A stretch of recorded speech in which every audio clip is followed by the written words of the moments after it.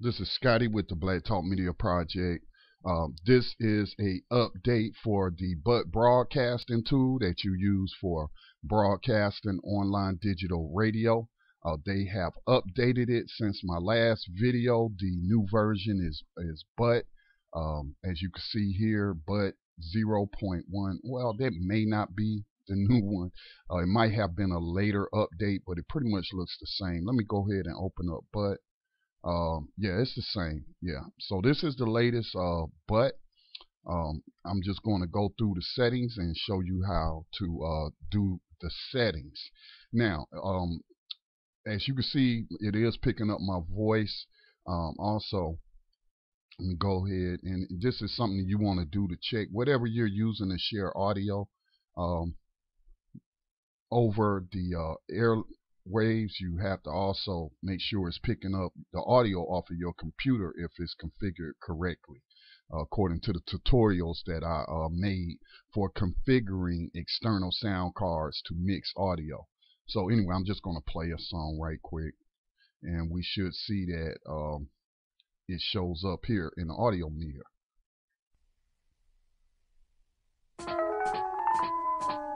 The views and opinions expressed by hosts, invited speakers, and callers do not necessarily reflect the views and opinions of the Black Talk Media Project or the Black Talk Radio Network.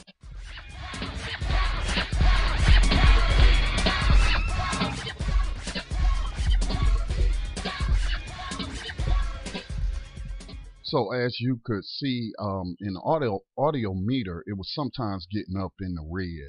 And so you could just go down on the volume of the source of the audio uh, that you're using, uh, whether it's a YouTube video or any kind of audio online, or if you're using uh, some piece of software to share audio files. So you don't want it to go up in the red. Again, you could use the volume controls to take it down, but this one also um, kind of limits the audio input of butt because if it's all up in the red all the time that's going to sound distorted it's going to be really uh, loud cracking sound so you could also use this um, volume meter here to uh, also can control uh, your audio to make sure you know it doesn't get all all the way up in the red a lot Alright, so I guess this is a good place for mine. Alright, so it'll remember it. So let's go through the settings. Alright, it's going to automatically detect your settings uh, for your audio device. That's just simply what microphone uh, card is pulling off of. I, if I'm, I'm on a Windows computer, obviously. So um, if I open up the uh, sound cards, me close this right quick. You can see I have my microphone um, on board mic as my primary um, and my only device that I'm using you know, for um, to route audio to the to the uh, player. Okay, so um, let's go through the settings right quick. Go ahead and close that. So in the settings, the first is going to be the main window. That's where you choose the audio device as it says. What card is it going to pull off of? Well, that's the only card I got enabled, so of course it's going to choose uh, that default, default microphone device. Now the server, that's where you're going to add your server information. So you would click on add to put in a new one. You type in the name. We're using Shoutcast V1. So you uh, choose Shoutcast.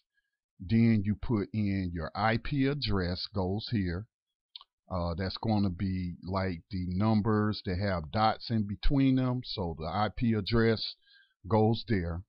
The port number goes there.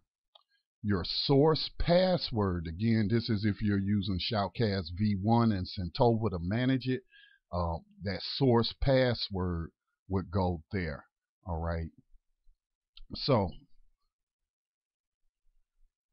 we'll go ahead and hit cancel. You can also uh, add more servers um, if you wanted to. Uh, that's how you would edit one. So I'm gonna go ahead and open that. So as you can see, it's it's set up the same way. All right. So uh, stream info.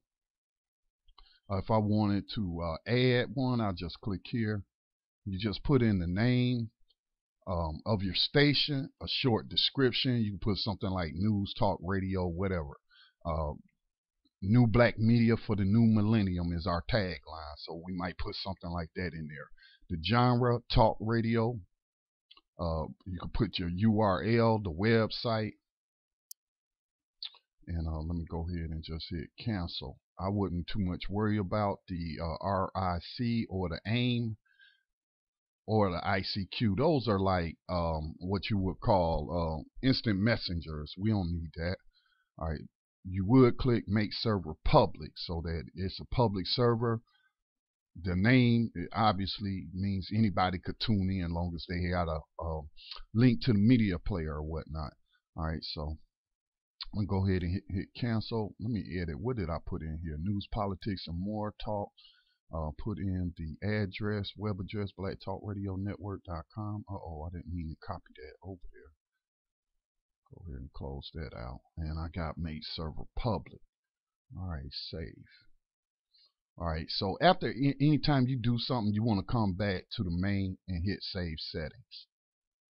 Now, connect at startup just simply means that as soon as I open up butt it's going to start trying to connect to the server. I usually just do it manually by uh, clicking this button here and it will show up here. This will light up the yellow to show that I'm broadcasting. You'll see it counting down the time and whatnot.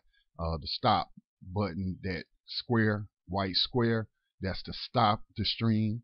And uh, this is to record. This is to record the podcast. And so um, I typically uh, manually record. You, I will show you how to set it up to automatically record once you go on air. But I started, you know, I, I just start the stream. Then when I'm ready to go on air, I'll just, um, or start the program, I'll hit record for my podcast. Now you go to stream. Uh, you choose the bit rate that you want to stream at. I, I choose 64 kilobytes. That's CD quality.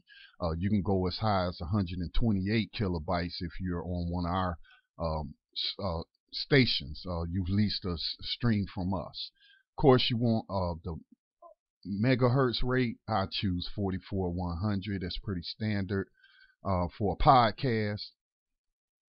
All right, channel stereo. Obviously, you want it to be in stereo. Your codec is MP3. You want to choose MP3 so you can say MP3 files. Uh, update song from file.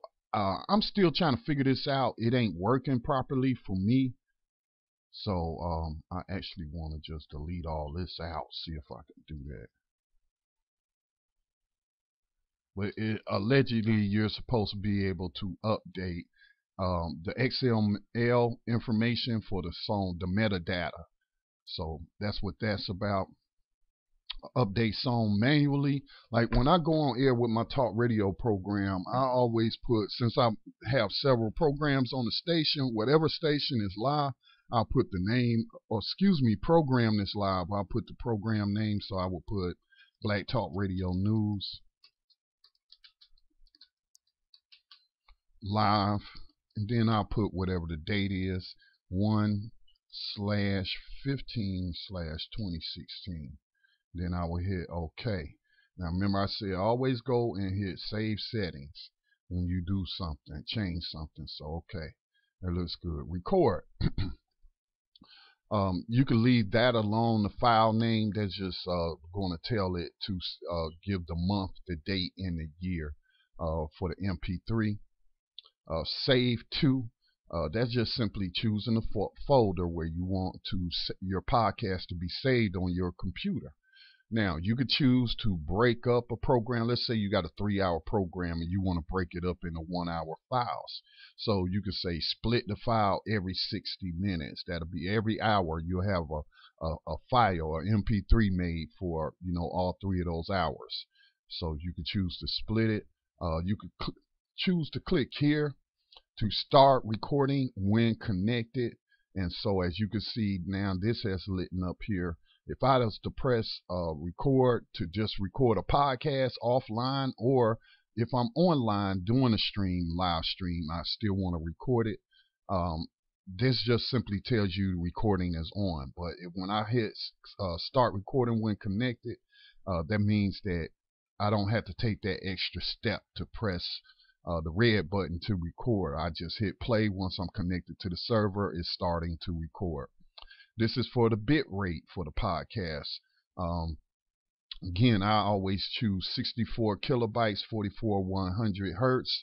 Uh, some people use like a free platform to store their podcasts and distribute their podcasts, like like a talk show, and it has to be formatted. The MP3 has to be formatted to be compatible with the way they um, set up their system. And so, 64 kilobytes bit rate, 44 100 hertz um, sample rate is uh, good, you know, and it'll also save a smaller file than if you say the podcast at let's say 128 kilobytes. It's going to be a larger file. If you're using uh, our podcasting service where you can upload podcasts on our network, uh, we ask that you, your podcast be at 64 4100s because uh, there is a limit to how uh, large individual file can be. I believe I got it set at 60 um, 60 megabytes, whatnot. Um, if I record at 64 kilobytes, 44 100,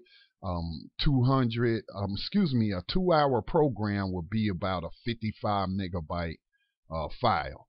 And so you'll be good to upload it. Um, if if not, you may need a converter to convert it, um, the MP3 file to 64 4100 hertz so that you got a smaller file so it can be uploaded to our uh, platform. All right, uh, you do want it to be in stereo, the podcast that is, and the codec again is MP3. That's what you're saving a podcast in an MP3 file. Um, I said uh, something about start recording when connected. Uh, let me see. No, what I was talking about was the bit rate. So you could also stream at let's say 128 kilobytes, but then uh, say the podcast at 64. So that's cool that you can do that, but I want to stay at 64. Okay, uh, what else? Uh, the GUI. All this is is um, the uh, user interface, and all that is is if I want to attach uh, me to butt window, that means this right here. I could detach it, but I always keep it uh, attached to the main window.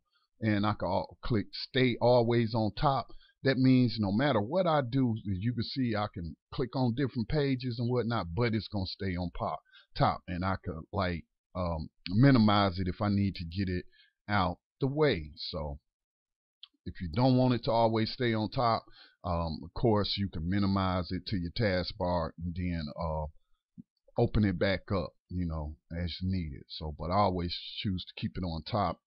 And if I need to close it, I manually close it or minimize it. All right, so um, I can't think of anything else. If you have any questions, uh, please feel free to uh, ask those questions in the comment section. Thank you.